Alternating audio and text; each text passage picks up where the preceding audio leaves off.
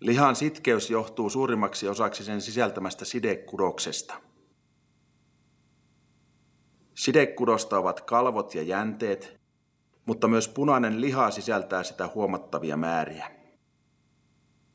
Yksittäiset lihakset, lihassyykimput ja koko lihas ovat sidekudoskalvon ympäröimiä.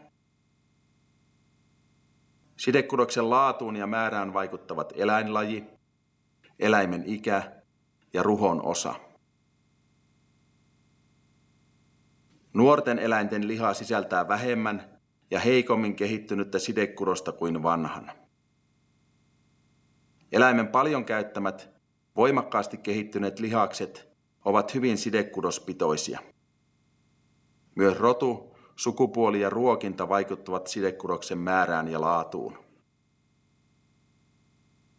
Teurastetun eläimen liha kangistuu teurastuksen jälkeen lihaksessa tapahtuvien toimintojen seurauksena. Lihassyyt jäykistyvät ja lihasta tulee sitkeää. Kangistumisen nopeus vaihtelee eri eläinlajeilla. Se saavuttaa maksiminsa noin vuorokaudessa. Pari vuorokauden kuluttua lihakset alkavat laueta. Lihan happamuus eli pH on teurastushetkellä noin seitsemän. pH laskee noin vuorokauden aikana viiteen ja puoleen, jonka jälkeen se jälleen hitaasti nousee. Happamuuden lisääntyminen johtuu glykogeenin eli eläintärkkelyksen muuttumisesta maitohapoksi. Happamuuden lisääntyessä lihasten ja sidekudoksen pitkiä proteiinisäikeitä hajottavat entsyymit voivat aloittaa toimintansa.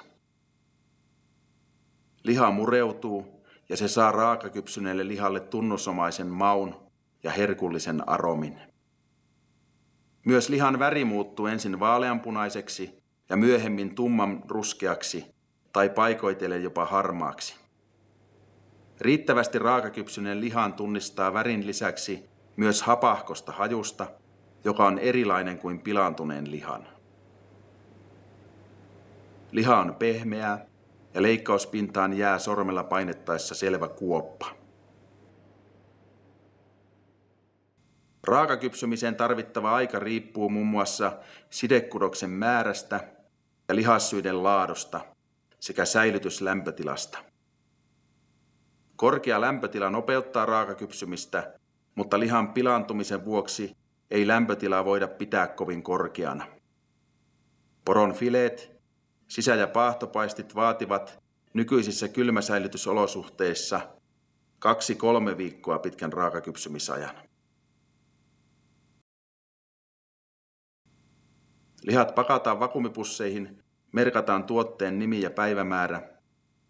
Tuotteita säilytetään noin kahden asteen lämpötilassa 2-3 viikkoa.